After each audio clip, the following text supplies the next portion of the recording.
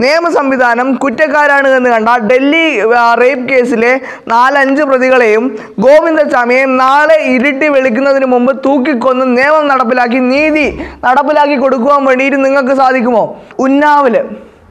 പീഡന പീഡിപ്പിക്കപ്പെട്ട റേപ്പ് സർവൈവറിനെ അതേ കേസിലെ ആരോപിക്കപ്പെട്ട പ്രതികൾ ആരോപിക്കപ്പെട്ടതല്ല പ്രതികൾ ഏ?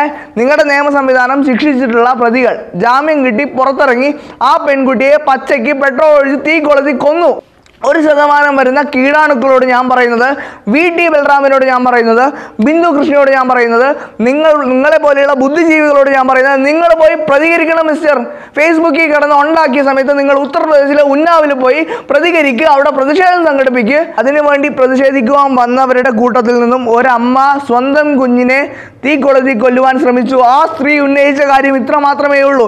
ഈ രാജ്യത്ത് എന്റെ മോൾ സുരക്ഷിതയായിരിക്കുമെന്ന് എന്തുറപ്പാണ് സാർ ഉള്ളത് എന്ന് ചോദിച്ച് സ്വന്തം മകളെ തീ കൊളുത്തി കൊല്ലുവാൻ വേണ്ടിയിട്ട് ഒരു അമ്മ മുന്നോട്ട് വരുന്ന രീതിയിലേക്ക് നിങ്ങളുടെ ജനാധിപത്യ സംവിധാനം ഇവിടുത്തെ സിസ്റ്റത്തിനെ മാറ്റിമറിച്ചിട്ടുണ്ടെങ്കിൽ അതപ്പതിക്കുന്ന രീതിയിലേക്ക് അതിനെ കൊണ്ടുപോയിട്ടുണ്ടെങ്കിൽ ഉത്തരം പറയണം വി ടി ബൽറാം. നിങ്ങൾ ഉൾപ്പെടെയുള്ള ആളുകൾ ഉത്തരം പറയണം.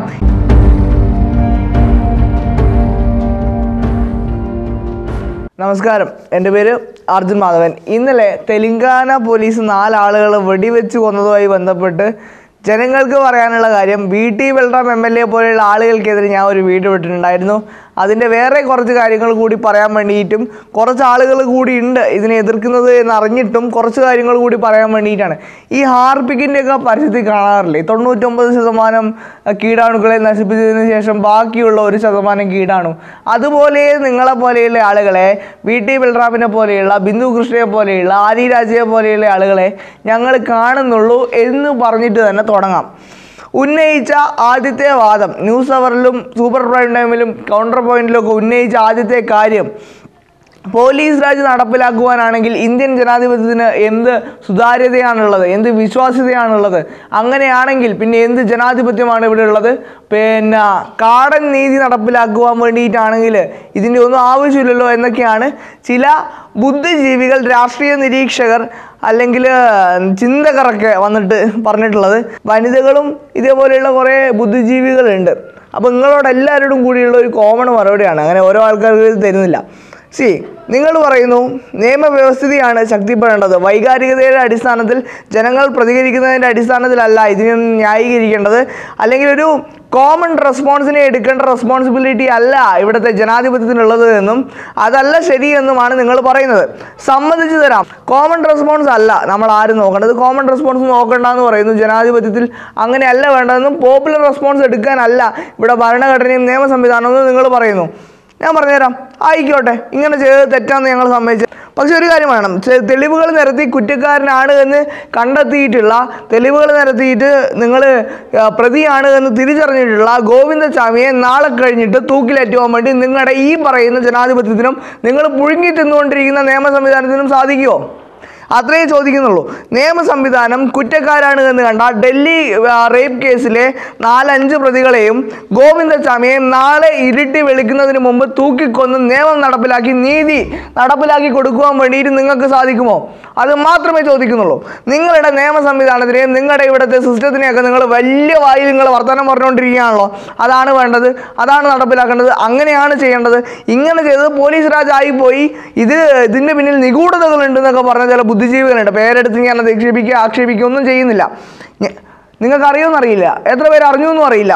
ഉന്നാവിൽ പീഡന പീഡിപ്പിക്കപ്പെട്ട റേപ്പ് സർവൈവറിനെ അതേ കേസിലെ ആരോപിക്കപ്പെട്ട പ്രതികൾ ആരോപിക്കപ്പെട്ടതല്ല പ്രതികൾ ഏ നിങ്ങളുടെ നിയമ സംവിധാനം ശിക്ഷിച്ചിട്ടുള്ള പ്രതികൾ. ജാമ്യം കിട്ടി പുറത്തിറങ്ങി ആ പെൺകുട്ടിയെ പച്ചയ്ക്ക് പെട്രോൾ ഒഴിച്ച് തീ കൊളുത്തി കൊന്നു.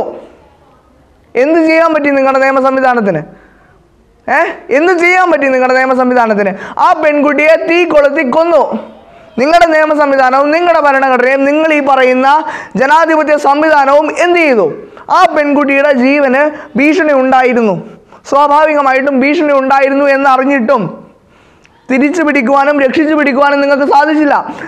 The accused were from a very rich background അല്ലെങ്കിൽ ഭയങ്കര രാഷ്ട്രീയ പിൻബലമുള്ള രാഷ്ട്രീയ പാർട്ടികളുടെ എം എൽ എമാരുടെ എം പിമാരുടെ ഒക്കെ പിൻബലമുള്ള ആളുകളായതുകൊണ്ട് തന്നെ പച്ചയ്ക്ക് ഉത്തർപ്രദേശിലെ ഉന്നാവിൽ ഏ? ഉത്തർപ്രദേശിലെ ഉന്നാവിൽ ഒരു പെൺകുട്ടിയെ പച്ചയ്ക്ക് തീ കൊളുത്തി കൊന്നു.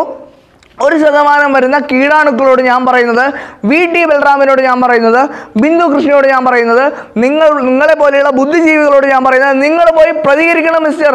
ഫേസ്ബുക്കിൽ കിടന്ന് ഉണ്ടാക്കിയ സമയത്ത് നിങ്ങൾ ഉത്തർപ്രദേശിലെ ഉന്നാവിൽ പോയി പ്രതികരിക്കുക അവിടെ പ്രതിഷേധം സംഘടിപ്പിക്കുക. ഇവിടുത്തെ രാഷ്ട്രീയ കക്ഷികളിൽ നിങ്ങൾ എം എൽ എ ആണല്ലോ. നിങ്ങൾ പോയിട്ട് രാഷ്ട്രീയ കക്ഷികളിൽ പ്രഷറൈസേഷൻ ചെയ്തിട്ട് എം പി എം പിമാരുണ്ടല്ലോ. പ്രഷറൈസേഷൻ ചെയ്തിട്ട് നിങ്ങൾ പോയി ഇതിനൊരു തീരുമാനം ഉണ്ടാക്കി കൊണ്ടുവന്ന് ഗോവിന്ദസ്വാമിയെ തൂക്കിക്കൊന്നിട്ട് പിന്നെ ഡൽഹി റേപ്പ് കേസിലെ നാലഞ്ച് പ്രതികളെ തൂക്കിക്കൊന്നിട്ട് അതിലൊരു തീരുമാനം ഉണ്ടാക്കിയിട്ട് ഇനിയൊരു പെൺകുട്ടി പോലും ഇങ്ങനെ ദാരുണമായ രീതിയിൽ ഈ രാജ്യത്ത് കൊല്ലപ്പെടില്ല എന്ന് ഉറപ്പ് വരുത്തിയിട്ട് നിങ്ങൾ എന്താ പറയുക ഇവിടെ ബഹളം ഉണ്ടാക്കണം ഏ? എന്നിട്ട് പറയണം നിങ്ങളുടെ ജനാധിപത്യം. എന്നിട്ട് പറയണം നിങ്ങളുടെ മതേതരത്വം എന്നിട്ട് പറയണം നിങ്ങളുടെ ഭരണഘടനയുടെ ഒരിക്കലും മറക്കുവാൻ സാധിക്കാത്ത ഒരിക്കലും നിഗ്ലക്റ്റ് ചെയ്യാൻ പറ്റാത്ത നിങ്ങളുടെ സംവിധാനത്തിന്റെ ഏറ്റവും വലിയ എന്താ പറയുക ശക്തമായിട്ടുള്ള സിസ്റ്റത്തിനെ കുറിച്ചിട്ട്. ഇന്നലെയും റേപ്പ് കേസുകൾ ഉണ്ടായിട്ടുണ്ട്. ഇന്നലെയും നാല് വയസ്സുള്ള ഒരു പെൺകുട്ടിയെ പീഡിപ്പിച്ചിട്ടുണ്ട്. ഇതിന്റെ ഒന്നര ലക്ഷത്തോളം വരുന്ന കേസുകളാണ് സുപ്രീം കോടതിയിൽ പെൻഡിങ് ആയി നിൽക്കുന്നത് സുപ്രീം കോടതി രാജ്യമെമ്പാടുമുള്ള കോടതികളിൽ ഒന്നര ലക്ഷത്തോളം വരുന്ന ഇത്തരം കേസുകളാണ് പെൻഡിങ്ങിൽ നിൽക്കുന്നത് തീരുമാനമാവാതെ നിൽക്കുന്നത്. ഒരുപാട് പേരെ ശിക്ഷിച്ചിട്ടും ശിക്ഷ നടപ്പിലാക്കുവാൻ ഒരു തരത്തിലും സാധിക്കാത്തത് കൊണ്ട് തന്നെ സർക്കാരിന്റെ ചെലവിൽ ജനങ്ങളുടെ ചെലവിൽ ഇവനെയൊക്കെ തീറ്റിക്കൊഴുപ്പിച്ച് സീമപ്പന്നിയാക്കുന്ന ഒരു സിസ്റ്റമായിട്ട് കേരളത്തിലെ കേരളത്തിലല്ല ഇന്ത്യയിലെ ജയിലുകളും കാര്യങ്ങളും മാറുന്നുണ്ടെങ്കിൽ ഇവനെ ഒന്നും ഒന്നും ചെയ്യുവാൻ സാധിക്കുന്നില്ലെങ്കിൽ ജാമ്യത്തിലിറങ്ങി ഒരു പെൺകുട്ടിയെ തീക്കൊളത്തി കൊന്നു എന്ത് ചെയ്തു. പ്രബുദ്ധമായിട്ടുള്ള നിങ്ങളുടെ ജനാധിപത്യ സംവിധാനം നിങ്ങൾ പുഴുങ്ങി തിന്നുന്ന നിങ്ങളുടെ എന്താ പറയുക സോ കോൾഡ് ലീഗൽ സിസ്റ്റം എന്ത് ചെയ്യാൻ പറ്റി? എന്ത് നീതി നടപ്പിലാക്കി കൊടുത്തു? എന്ത് നീതി നേടിക്കൊടുത്തു? അതിന് പ്രതിഷേധിക്കുവാൻ വന്ന ഞാൻ പറഞ്ഞുതരാം. ഡൽഹിയിൽ ഡൽഹിയിലാണെന്ന് തോന്നുന്നു അതിനു വേണ്ടി പ്രതിഷേധിക്കുവാൻ വന്നവരുടെ കൂട്ടത്തിൽ നിന്നും ഒരമ്മ സ്വന്തം കുഞ്ഞിനെ തീ കൊളുത്തി കൊല്ലുവാൻ ശ്രമിച്ചു. ആ സ്ത്രീ ഉന്നയിച്ച കാര്യം ഇത്ര മാത്രമേ ഉള്ളൂ. ഈ രാജ്യത്ത് എന്റെ മോൾ സുരക്ഷിതയായിരിക്കുമെന്ന് എന്തുറപ്പാണ് സാർ ഉള്ളത് എന്ന് ചോദിച്ച് സ്വന്തം മകളെ തീ കൊളുത്തി കൊല്ലുവാൻ വേണ്ടിയിട്ട് ഒരു അമ്മ മുന്നോട്ട് വരുന്ന രീതിയിലേക്ക് നിങ്ങളുടെ ജനാധിപത്യ സംവിധാനം ഇവിടുത്തെ സിസ്റ്റത്തിനെ മാറ്റിമറിച്ചിട്ടുണ്ടെങ്കിൽ അതപ്പതിക്കുന്ന രീതിയിലേക്ക് അതിനെ കൊണ്ടുപോയിട്ടുണ്ടെങ്കിൽ ഉത്തരം പറയണം വി ടി ബൽറാം. നിങ്ങൾ ഉൾപ്പെടെയുള്ള ആളുകൾ ഉത്തരം പറയണം. ഇതിനെ എല്ലാം മാറ്റിമറച്ചിട്ട് ഇതിനെ എല്ലാം പരിഹരിച്ചിട്ട് എന്നിട്ട് എതിർക്കണം തെലങ്കാനയിലെ പോലീസുകാരെ. ഇതൊന്നും മാറാത്തെടുത്തോളം കാലം ഇതിനൊന്നും ഒരു മാറ്റം വരാത്തെടുത്തോളം കാലം ഇതൊന്നും മാറാത്തെടുത്തോളം കാലം. ഇതേപോലെയുള്ള കാടൻ നീതികളാണ് ശരിയെങ്കിൽ ആ കാടൻ നീതി നടപ്പിലാക്കുന്നതിനോടാണ് ഞങ്ങൾക്കെല്ലാം യോജിപ്പ് എന്ന് മാത്രം പറഞ്ഞുകൊണ്ട് എതിർക്കുന്നവരൊക്കെ അവിടെ കിടന്ന് എതിർത്തോ. പക്ഷേ നീതി നടപ്പിലാക്കുന്നില്ലെങ്കിൽ നീ തീയാകണം എന്ന് ഞാനൊക്കെ ഇവിടെ വായിച്ചിട്ടുണ്ട്. അതേ ഇനി നടക്കുള്ളൂ എന്ന് മാത്രം ഒരിക്കൽ കൂടി ഓർമ്മിപ്പിച്ചുകൊണ്ട് നിങ്ങളുടെയൊക്കെ എതിർപ്പിന് പുല്ല് വിലയാണ് നൽകുന്നത് എന്ന് ഒരിക്കൽ കൂടി പറഞ്ഞു വെച്ചുകൊണ്ട് നിർത്തുന്നു. നന്ദി നമസ്കാരം. Thank so much